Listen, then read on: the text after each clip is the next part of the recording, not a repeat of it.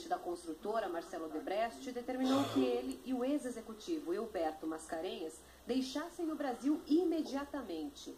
A empresa teria financiado as mudanças e ajudado na obtenção dos vistos dos empresários e familiares deles. Depois, uma operação foi feita para que todo o dinheiro espalhado em contas no exterior voltasse para a construtora.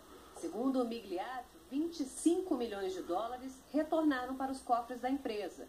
15 milhões foram deixados numa conta na Suíça para os últimos pagamentos. Fernando Migliaccio trabalhou com o pagamento de propinas entre 2008 e 2016. Ele estima que de 30 a 40 contas tenham sido abertas lá fora para o desvio do dinheiro. Só ele teria movimentado 2 bilhões de dólares. Bom, em nota, o Debrecht diz que a responsabilidade por avaliar os relatos dos executivos da empresa é da Justiça.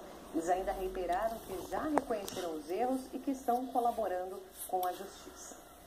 O empresário Ike Batista vai ter